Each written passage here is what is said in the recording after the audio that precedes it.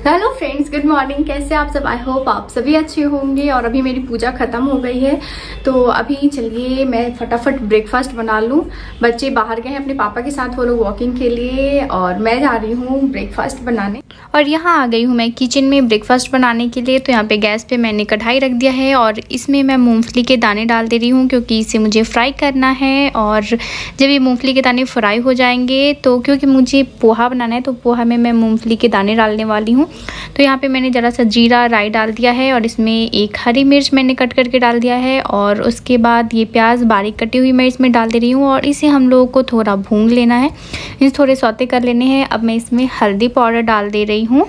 तो और इसे हम लोग थोड़ा सा बस हल्दी को पका लेंगे। जैसे कि कच्चापन टेस्ट नहीं आए हल्दी का, इस वजह से मैं प्याज में हल्दी डाल दी हूँ और फिर गया इसमें पोहा। तो यहाँ पे हमारी ब्रेकफास्ट के लिए पोहा बस तैयार होने वाली है और ये बहुत ही जल्दी बन जाता है। ब्रेकफास्ट अगर हमारे पास टाइम नहीं हो तो हम लोग जल्दी में बस पोहा बना सकते हैं ब्रेकफास्ट के लिए।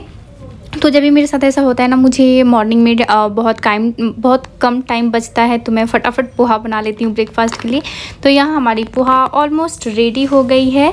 तो अब मैं इसमें लेमन डाल दे रही हूँ। पोहा का सबसे इंपॉर्टेंट इंग्रेडिएंट लेमन और इसके बाद इसमें गया ये मूंगफली के दाने। तो ये रहा पूरा पोहा का रेसिपी और ये हमारा पोहा रेडी हो गया है। तो अब आप लोग भी हमारे साथ ब्रेकफास्ट करने के लिए तो यहाँ पे, यहाँ प्लेट लग गया है और बस मैं सबके लिए पोहा निकाल ले रही हूँ प्लेट में और उसके बाद फिर हम लोग साथ में बैठ के ब्रेकफास्ट करेंगे।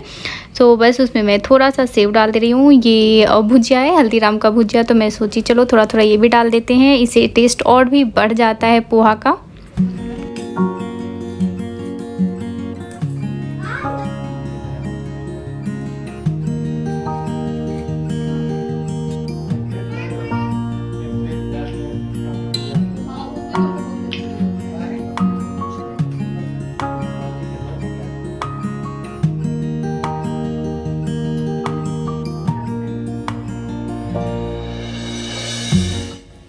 और यहाँ पे बच्चे खेल रहे हैं और फिर मैं अभी यहाँ पे आ गई हूँ लंच बनाने के लिए।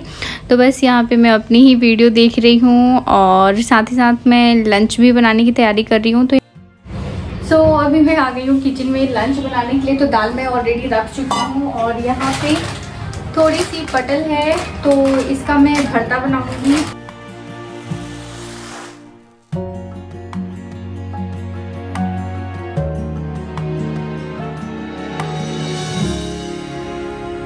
और यहाँ पे मैंने कढ़ाई रख दिया है गैस पे और ऑयल भी डाल दिया है तो इसमें पटल को हम लोग फ्राई कर लेंगे।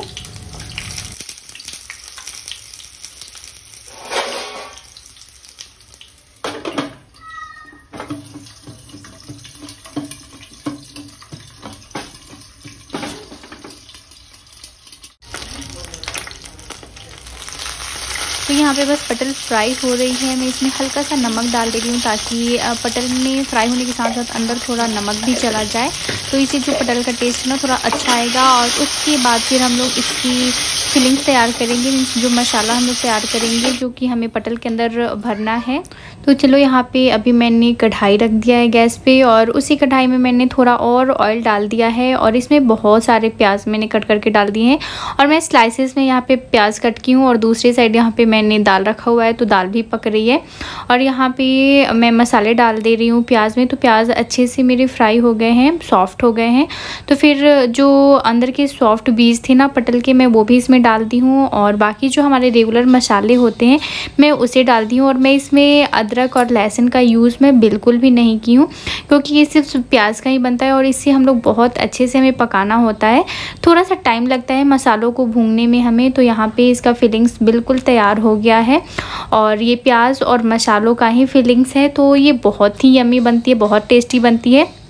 और इस तरीके से मेरी मम्मी बनाती है तो मैं उन्हीं की रेसिपी यूज़ की हूँ।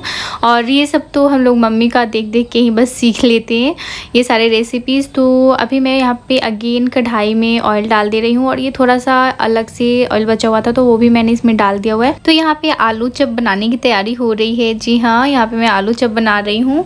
और वीकेंड में थोड़ा बहुत स्पेशल कुछ ना कुछ हो ही जाता है। पकौड़े बना लिए, आलू चप बना लिया तो तो बस मैंने सोचा, चलो आलू चप ही बना लेते हैं। तो बस यहाँ पे मेरी आलू चप बन रही है।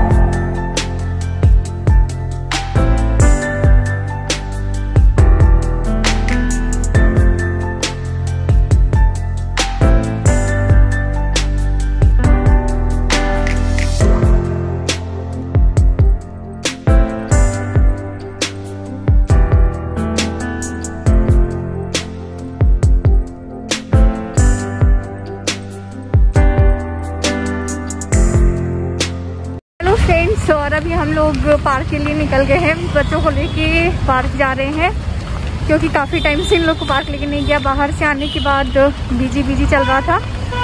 और आज हमारे साथ खुशबू भी है पार्क जाने के लिए।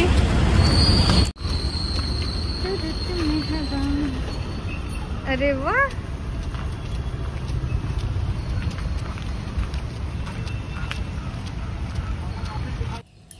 और हम लोग पार्क लिए निकल ही रहे थे, तब तक बारिश से स्टार्ट हो गई। तो फिर हम लोग थोड़ी देर रुक गए थे तो इस वजह से थोड़ा गीला गीला सा हो गया है। और बच्चे अच्छे से खेल नहीं पाए, अच्छे से इंजॉय नहीं कर पाए। बस हम लोग वॉक किए और थोड़ा बहुत ही बच्चे खेल पाए थे पार्क में।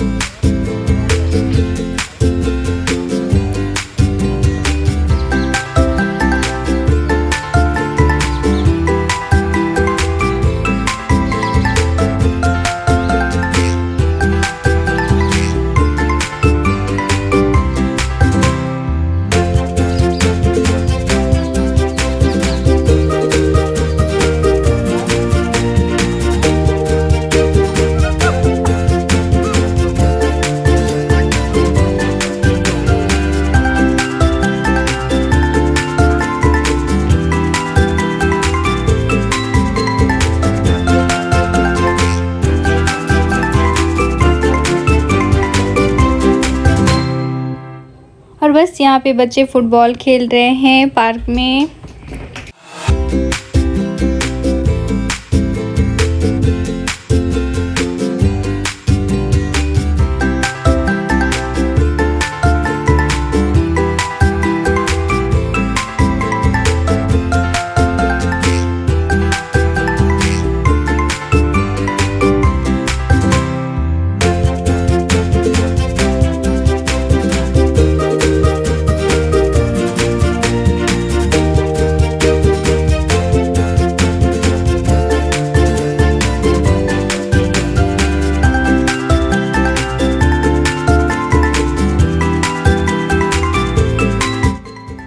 और यहाँ पे पार्क में घूमने के बाद बच्चे खेल लिए, हम लोगों ने वॉकिंग कर लिया और मौसम बहुत ही सुहाना था। मीन्स देखिए, आप लोग देख सकते हैं, बादल भी दिख रहा है।